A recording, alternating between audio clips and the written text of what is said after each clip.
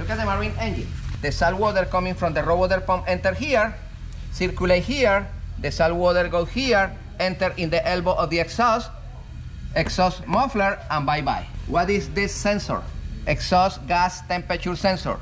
Ah, uh, what about the coolant? Look, coolant enter here and coolant here. Ah, the thermostat is here. Switch and sensor. Switch and sensor. Ah, look at the coolant. Coolant and coolant. Ah, the coolant circulate here and return if the thermostat is open. If the thermostat is closed, stay over there until the engine reach the temperature. When the engine reach the temperature, what happened with this? Open. Open, circulate again, and return here. And the salt water, here, here, here.